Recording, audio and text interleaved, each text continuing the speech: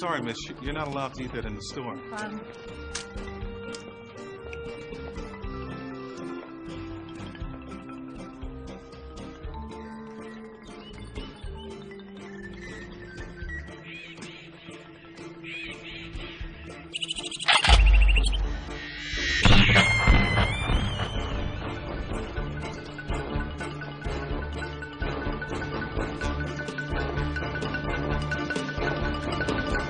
Need to buy a gun. How much is this big gun here? Uh, that that's uh that's a 12 gauge shotgun. That's a pretty powerful weapon.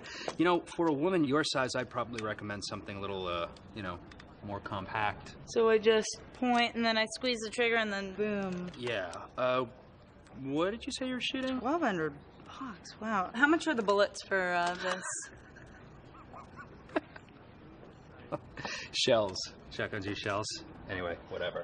Uh, they're 15 bucks for a box of 25. Okay. Um, I don't need a whole box. I just need hmm, one. You know, I get sad sometimes too. So many pressures in life, you know. Can I give you a phone number for some people who can help? Oh no. it's like a hotline. Uh, listen, sunshine. I'm not um suicidal. No, I know. I just have a problem with a mockingbird. okay. You can't kill a mockingbird. Why not? Well, for one, there's the book To Kill a Mockingbird. Oh, copy of that too, right here. No, it's not a manual on how to kill mockingbirds. It's a classic American novel. How do you not know this? I know a lot of other things, including the gun. No! Yes. I'm not going to sell you this gun. Mockingbirds are protected under the Federal Migratory Bird Treaty Act. Killing one is a crime. Look, this is insane.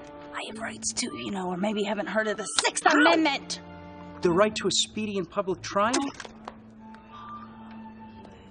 You're on my list. Jim,